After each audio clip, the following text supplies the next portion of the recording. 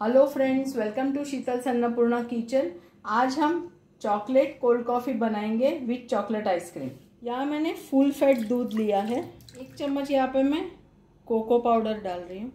यहाँ पे ये चॉकलेट सिरप है। चम्मच यहाँ पे मैं इंस्टेंट कॉफ़ी ले रही हूँ। आप अगर स्ट्रॉन्ग पीना चाहते हो, उस हिसाब से आप कम ज़्यादा कर सकते हैं। एक से दो ड्रॉप्स मैं यहाँ पे वेनीला एसेंस डाल रही हूँ। से तीन यहाँ पे आइस क्यूब्स डाल रही हूँ। अब इसे हम ग्राइंड कर लेंगे। ये अब हम सर्व कर लेते हैं।